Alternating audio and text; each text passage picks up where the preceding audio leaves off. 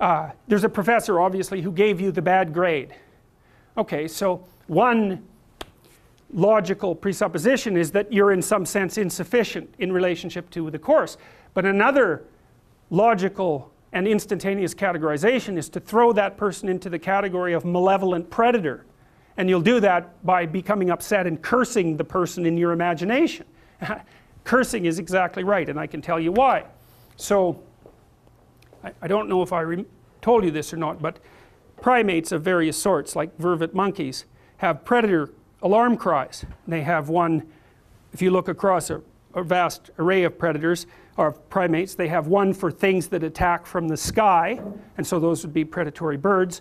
They have one for like cats that climb into the trees to get you and that means hit the, hit the little branches because the cat can't be out there. And they have one for uh, things that rustle through the grass snakes for example. And so each of those produces a distinctive alarm cry.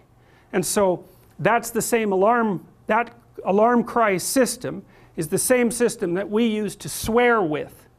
We use short guttural words. So they're archaic words because short words tend to be very very old. And so that's and we have a separate system that utters those sorts of vocalizations. And that's the system that's disinhibited in Tourette's which is why people with Tourette's swear. And so when you curse the professor for giving you the bad grade you are using the same bloody linguistic system that your ancestors used to categorize snakes in the grass or predators that sweep, swoop down from the sky. That's very very interesting.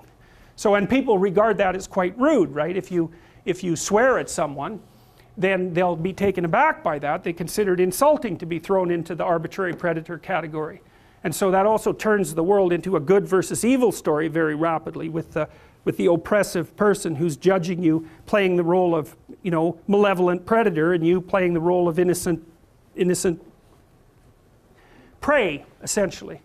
Very very easy for that to happen